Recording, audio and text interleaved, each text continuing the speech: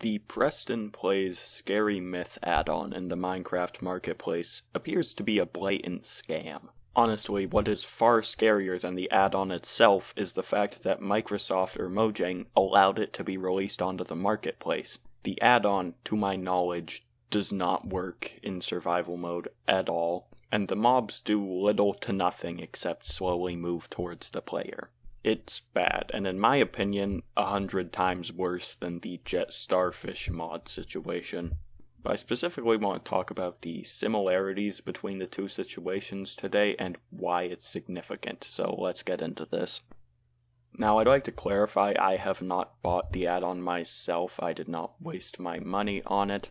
It's around $5 in the Minecraft marketplace, so most of my knowledge regarding the mod's gameplay is coming from EckoSoldier's video on it.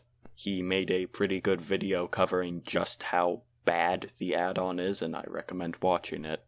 So, yeah, the add-on basically doesn't work and even if you go into creative mode to use it, it basically does nothing. Some entities without any animation whatsoever will pop up from a table and slowly walk towards you. That's about it.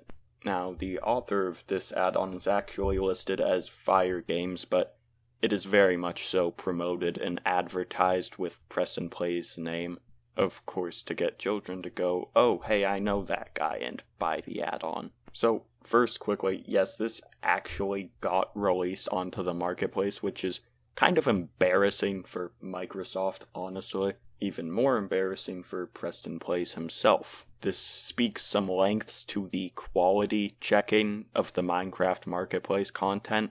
Clearly, Mojang or Microsoft didn't look through this thoroughly at all, showing that you can really just put out pretty much anything on the Minecraft Marketplace and put any price tag on it. I do apologize for being so harsh in this video, but I mean, there's no other way to put this. This is just bad. It's very clearly a cash grab. But now let's compare this to the Jet Starfish mod for a moment. So, I think the Scary Myth add-on is a hundred times worse than Jet's Exploration mod.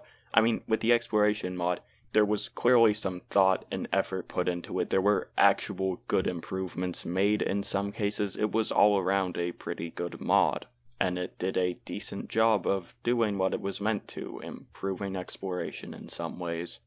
But this add on, I cannot say the same.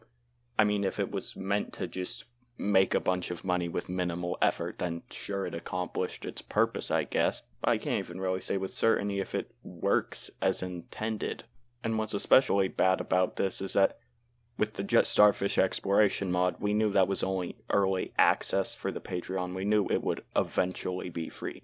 But with this being a marketplace add on, it is likely going to always cost money. So, to summarize, the Jet Starfish mod was a pretty good mod that worked well, at least, and made some great improvements to the game. And it is also now free, by the way. Meanwhile, the PrestonPlayz Scary Myth add on seemingly doesn't even work as it's supposed to, doesn't make for any kind of better or more interesting gameplay, and is also likely going to always cost money. Laying all of that out, I don't think I really need to say which one is worse here.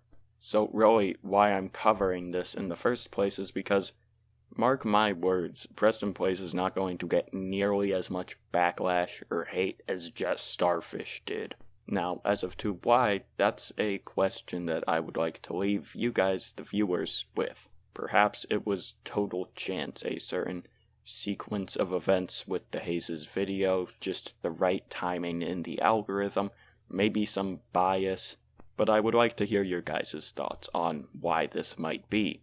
Especially given the fact that, again, this was covered by EckoSoldier, who has over a million subscribers, but as of right now, his video only has about 20,000 views while I'm recording this, and Hazes, of course, had hundreds of thousands. Perhaps it's just a matter of who has what information and what misinformation that could lead to this difference in backlash. I can certainly speculate, but I really can't tell you with absolute certainty. But I think that's where I'm going to leave this for today because this is just supposed to be a short video so that I can focus more on my next project, the improving exploration or adventure video. I think I've cooked up some pretty interesting things for that one, and also my cat is blocking my screen now, so so I hope to see you in that exploration video, and goodbye.